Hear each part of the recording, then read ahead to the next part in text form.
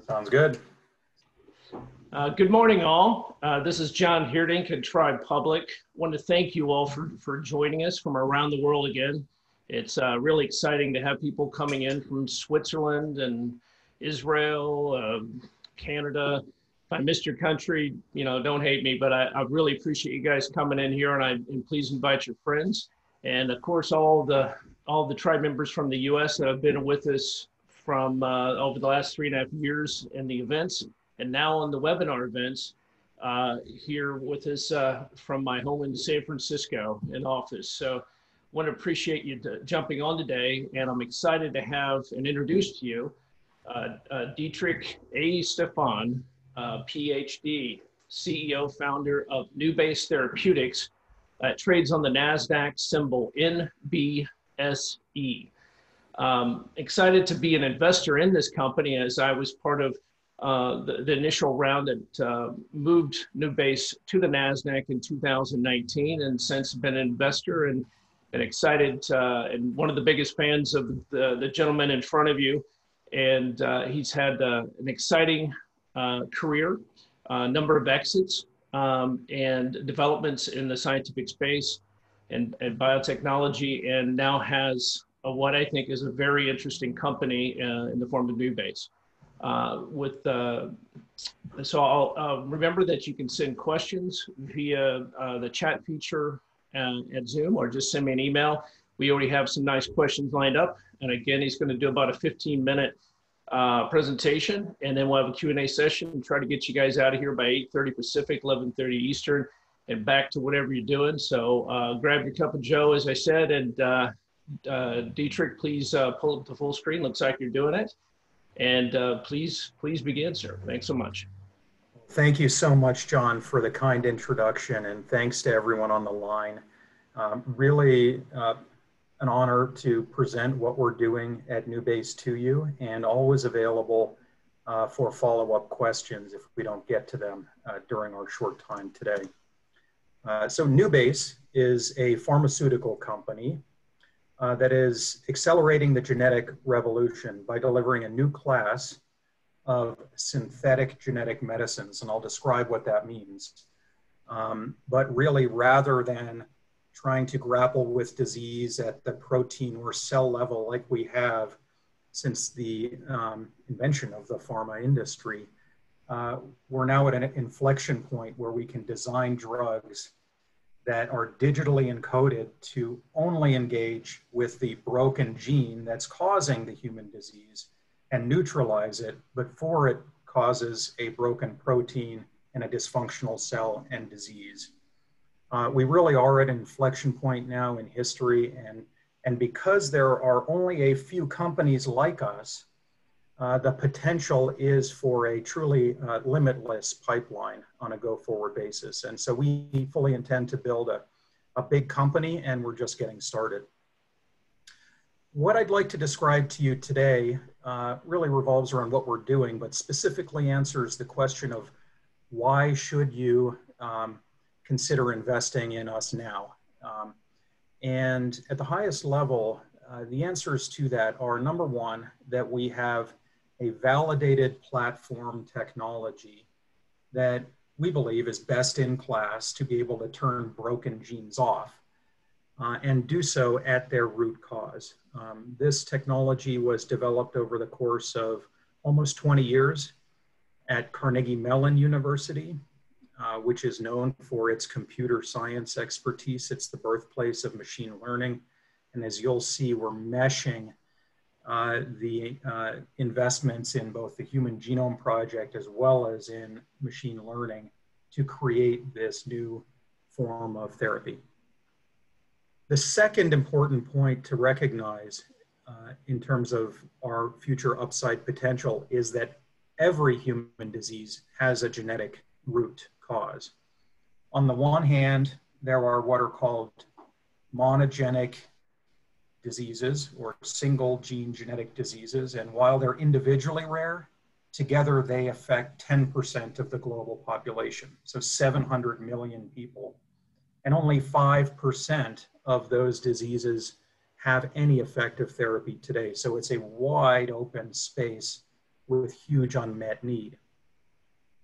For example, 30% of children diagnosed with a genetic disease die before their fifth year of age. Horrific diseases. There are thousands of them, and again, they touch 10% of the global population. Half of us will get cancer in our lifetimes, and cancer is a genetic disease of a single cell that causes it to go haywire.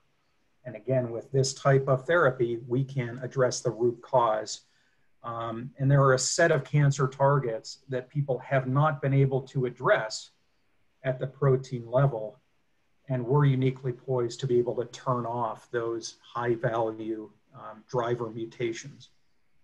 The third reason we think that we're special is that um, we have put together a team that has delivered therapies into the marketplace uh, dozens of times. Um, in and if you add up the, um, the broader team, uh, we have delivered hundreds of both diagnostics and therapeutics into the marketplace that are improving patients' lives today. So I would argue it's an unparalleled team in terms of execution. And our team has published thousands of peer reviewed scientific papers in journals like Science, the New England Journal of Medicine, Nature, Cell, and the list goes on. Um, finally, we have a strong balance sheet. So we have two plus years of runway. Uh, we're not fundraising, um, and uh, we're perfectly positioned um, and have guided that we will uh, be um, inking a large pharma partnership over the next 12 months that will likely bring additional non-dilutive financing onto our balance sheet to continue to allow us to drive our programs through clinical trials as well as expand our pipeline. So this is a really special time in the evolution of our company. We've proven that our foundation performs, and now we're going to be spitting out therapies addressing a multiplicity of different diseases. What are our key advantages? Uh, number one, um, we do truly have the potential to be scalable. And just to dive a little deeper into this, our drugs look like a short single strand of DNA or RNA. If you remember back to high school biology, the DNA double helix.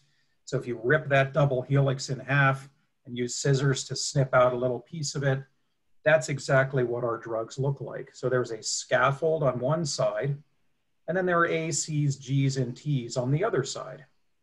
And we can program those ACs, Gs, and Ts using, again, computer science and machine learning to only engage with the broken gene that's causing a person's disease. We know if it will stick elsewhere, and if it will, we'll just design a different sequence into our drug. So what we've done now is validate that the scaffold or backbone is very well distributed in the body after a simple and easy to take administration, including into the brain, which is where many or most of these single gene disorders manifest. Uh, secondly, uh, the scaffold allows us to be more precise in engaging with a broken nucleic acid target.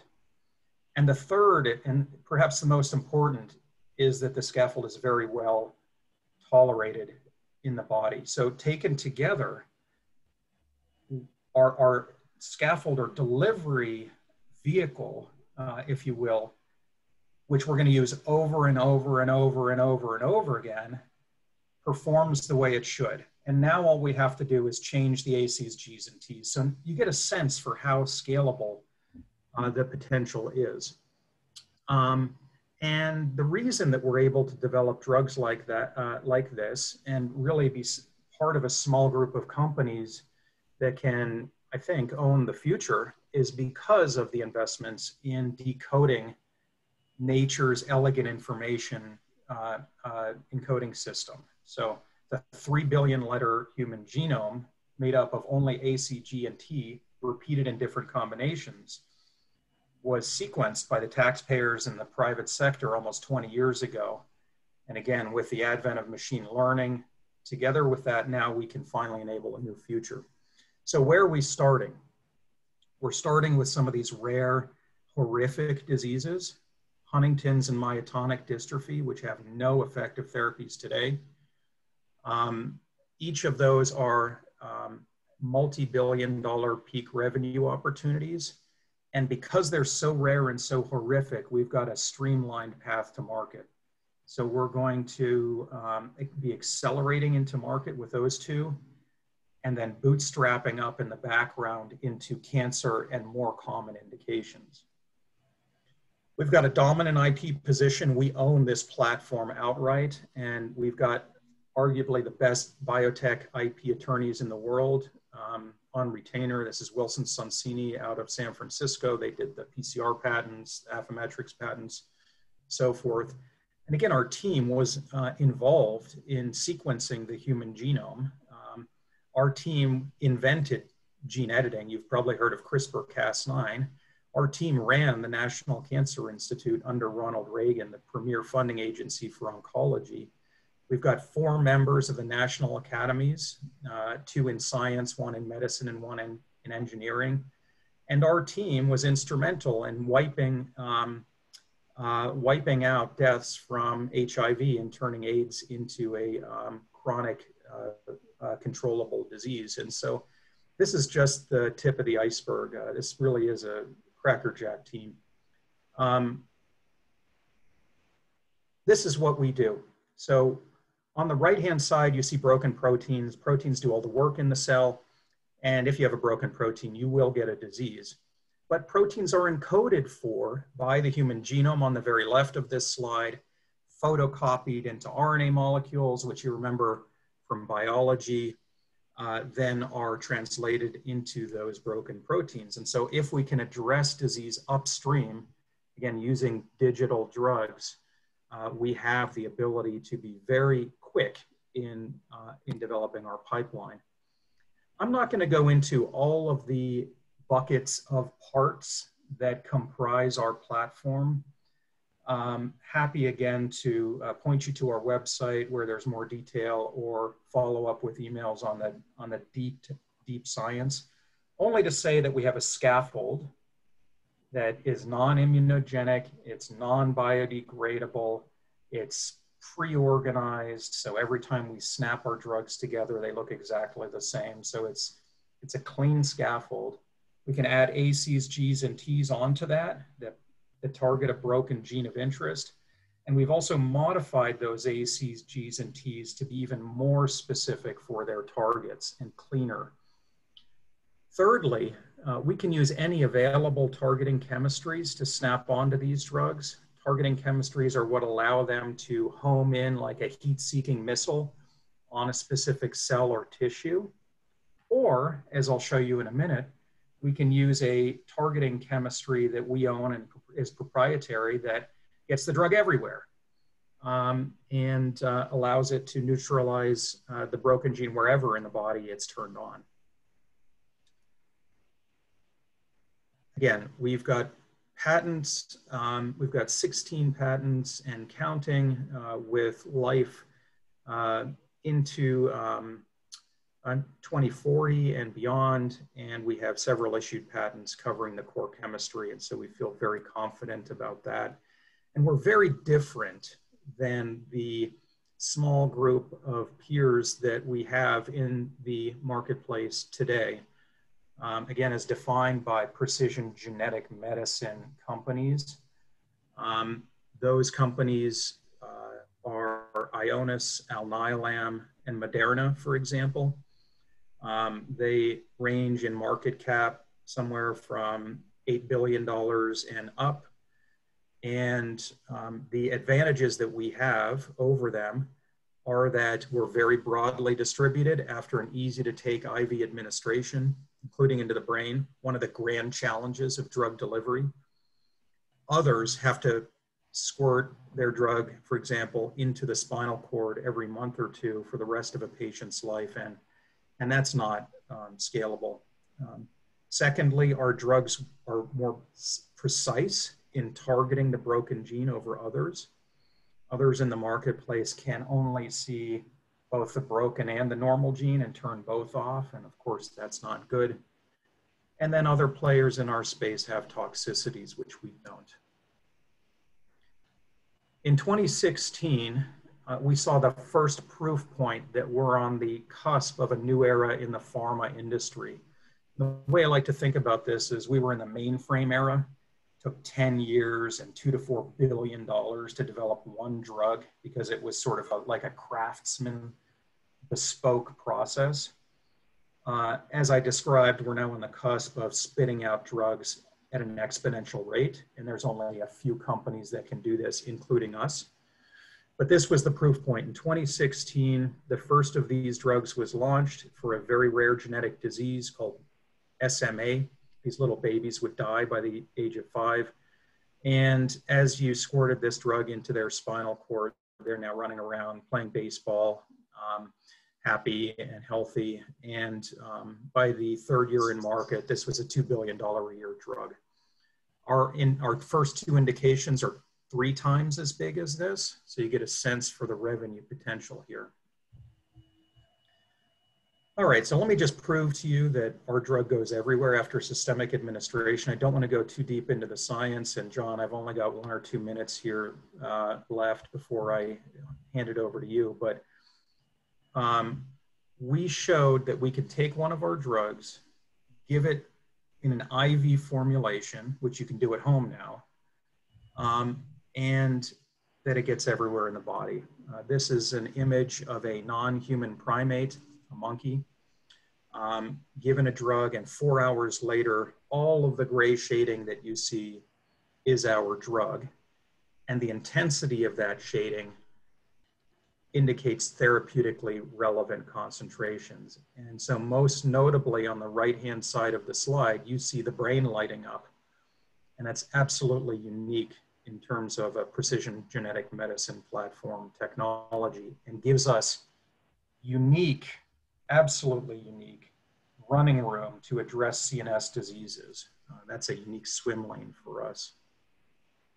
This is a little bit of a zoom in across the top and you can see how the levels of brain actually, uh, drug concentrations in the brain enrich out to a week after systemic administration. And um, these are areas in the body uh, that are opportunities for us uh, where others cannot go. And it's another reason why we believe we're positioned to become the dominant precision genetic medicine company in the industry. Finally, our drugs work.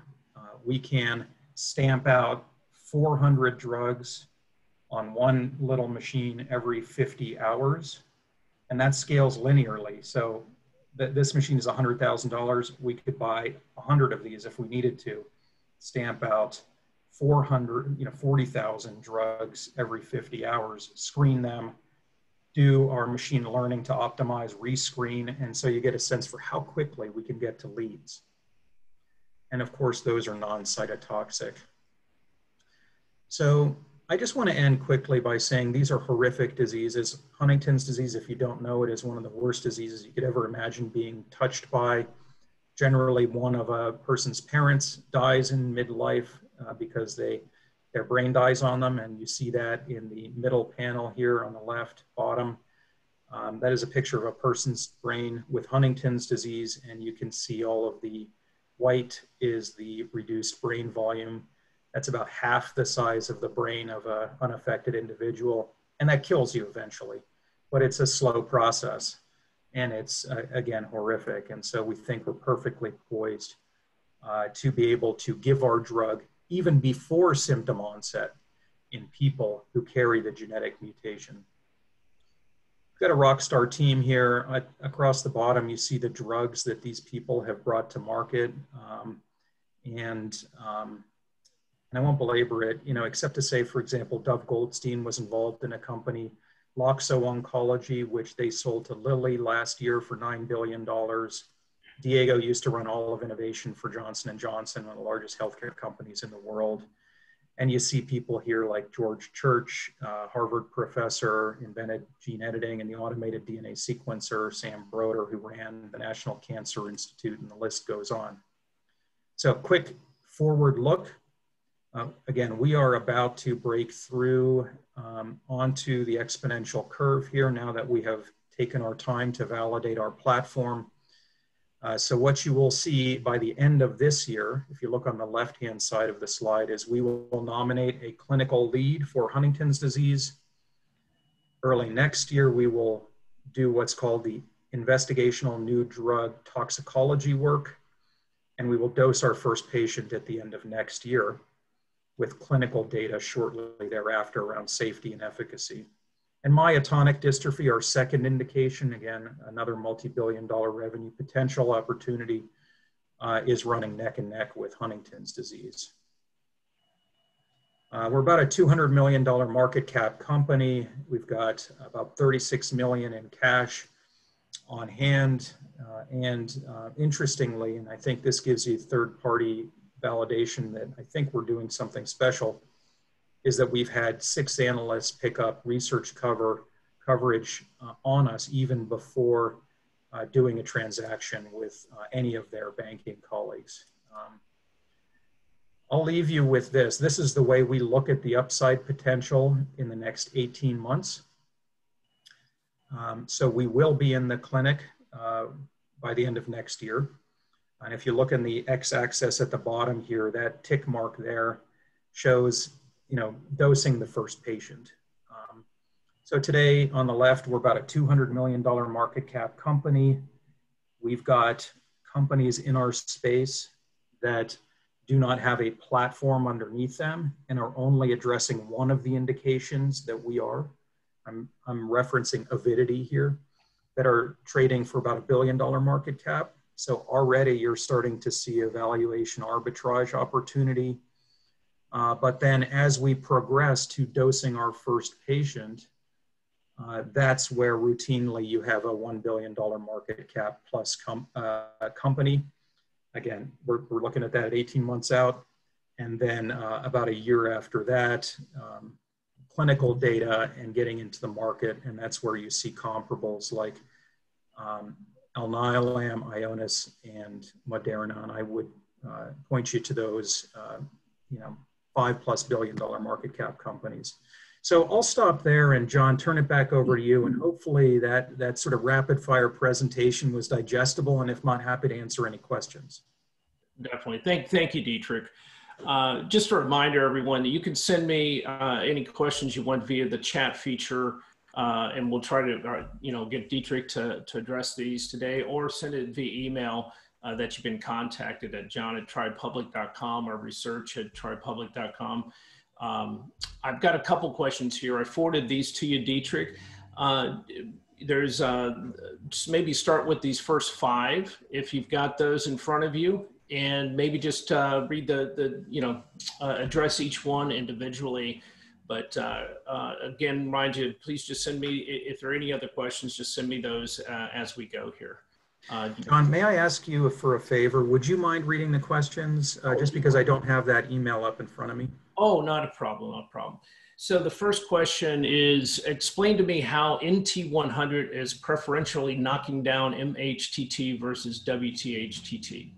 Yeah, so um, how do we specifically turn off the broken RNA molecule that's translated into a broken protein and causes Huntington's versus the normal or wild type transcript. Um, so there are actually three layers of technology or um, there are three layers of, of the answer. The first is, um, well, let me back up a second. So the mutation that causes Huntington's disease is what's called a trinucleotide expansion. And so normal unaffected individuals have CAG repeats uh, that are less than 40 repeats in length. Um, people with Huntington's disease have 40 or more CAG repeats. And so the question is, is how do you see the difference between someone, let's say, with 20 repeats and someone with 45 repeats?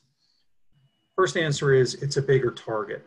Uh, so, so stochastically, you will get um, more drug sticking to the bigger bullseye than the smaller bullseye.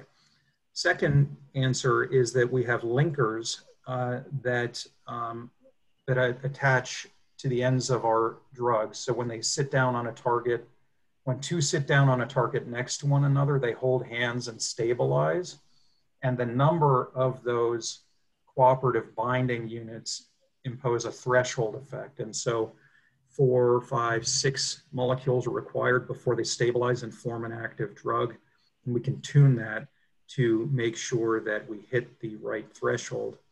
And thirdly, we have a nucleobase technology that's called a Janus base. It's a bifacial nucleobase, and it can engage with um, a secondary structure in the mutant RNA called a hairpin. Uh, that's when the RNA folds up on itself.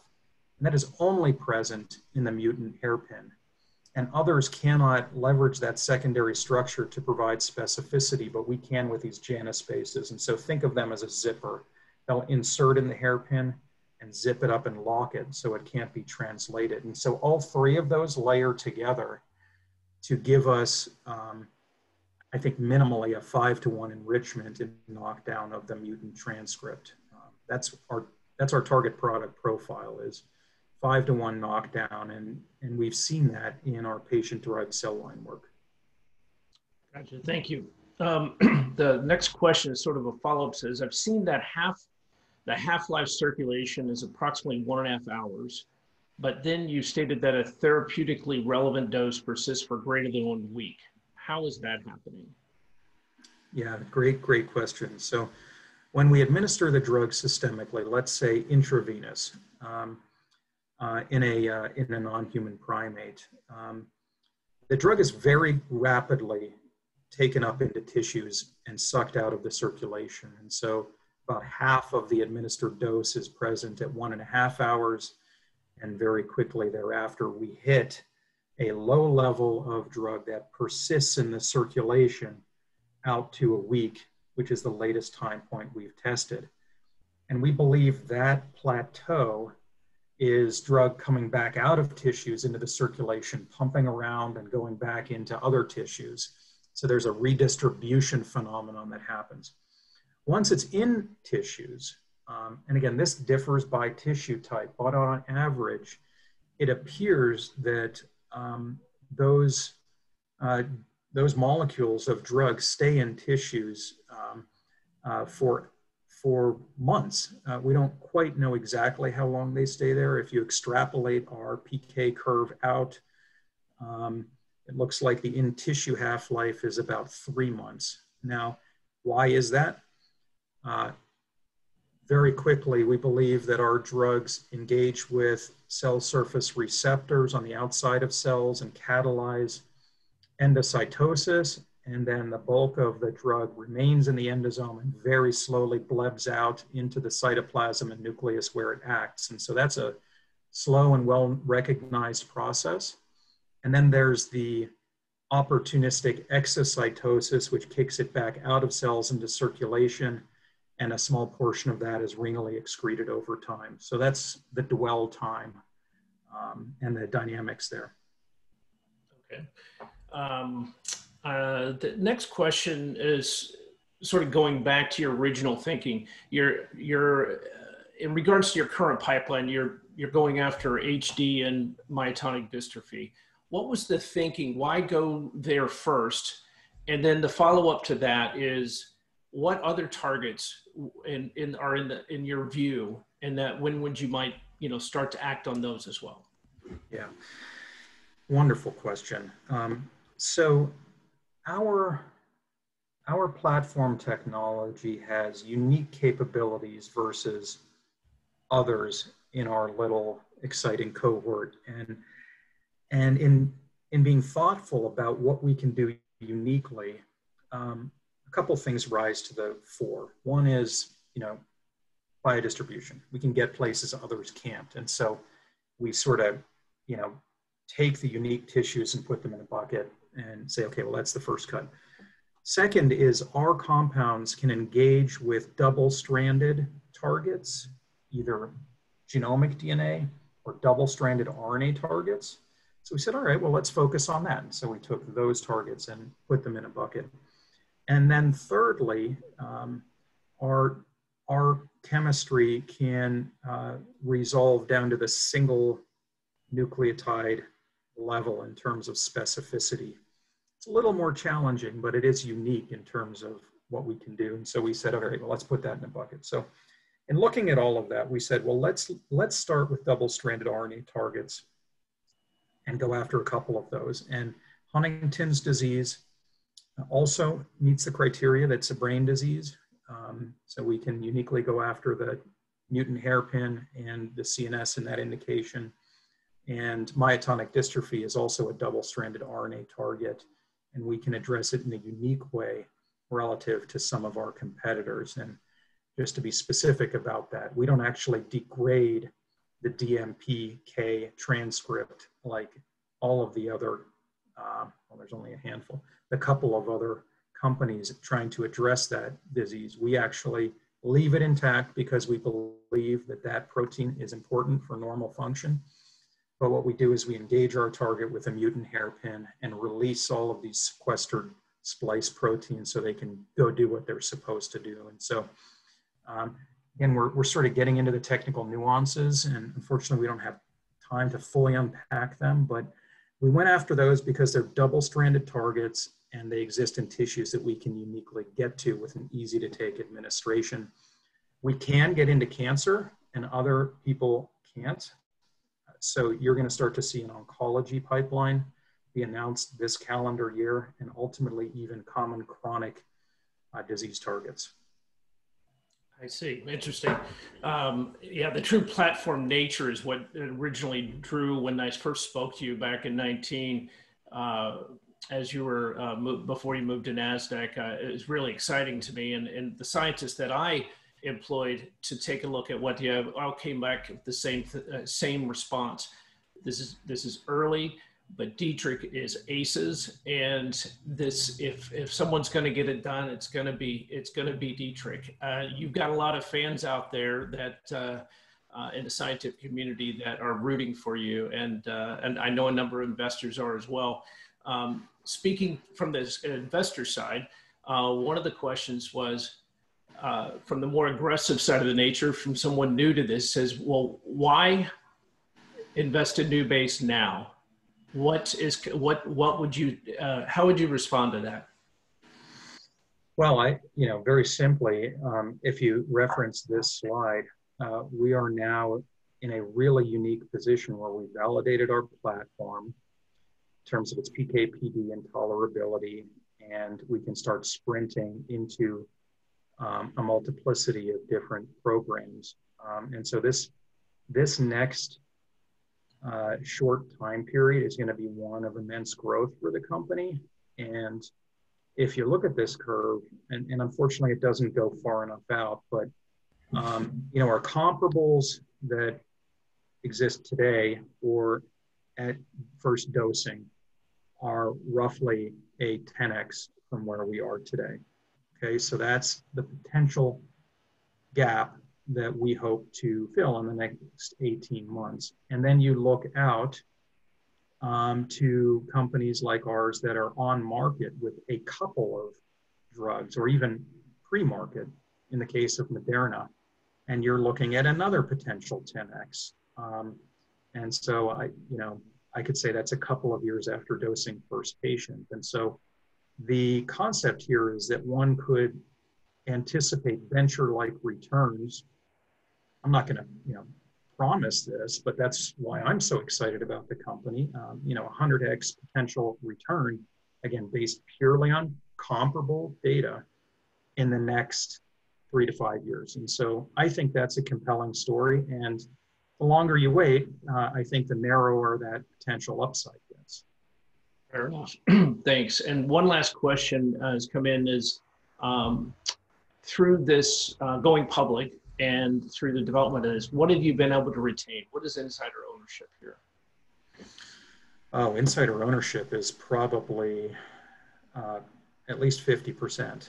Uh, so, um, you know, we're, we're thrilled by that because, and it was one of the reasons that we took this path is that, you know, having done 14 companies as a founder, all backed by Silicon Valley venture capitalists that are household names. Um, very soon after taking the first couple of tranches, management is no longer fully incentivized to build the company because they have been diluted out. And um, And that is the exact opposite of the situation that we're in right now. We are fully aligned with our investor base and fully incented to turn this into a very big company, and that's our plan. I would think Genentech in the early days. I mean, recombinant DNA, right? Wow, look at all of the things we could do. We could make insulin in a dish. Um, this is exactly the same point in history, and that's exactly the type of scale that we're aiming for. Fantastic. Well, I know we've hit uh, a little, little bit over time, so I want to thank uh, you, Dietrich, for uh, taking the time to speak to us today, and uh, from head, uh, NeuBase headquarters, if you will. Looking forward to seeing you soon, and hopefully we can get you back out as in in front of everyone. But this is going to be the way we're we're doing it for now. No tribe that we're going to look to get Dietrich back on here periodically over the next year uh, as he makes progress and uh, have him speak on different events uh, as well. Um, as uh, he's a thought leader in the space, as you can tell uh, uh, today, and we're excited to be able to do that. In the meantime, I'm going to be at sometime in the next couple days looking to upload this video to the Tribe Public channel on YouTube at Tribe Public. so you can review it if you like or pass it on to others. Uh, and uh, then we'll look to do that going forward. Um, and then in the meantime, please continue to send questions as we move to the next event, or if you want to speak to certain topics, please uh, let us know and help lead the discussion uh, as we're all here to learn. And uh, again, Dietrich, thank you so much. Thank, thank you, Tribe. And I look forward to seeing you again soon. Take care. Thanks again.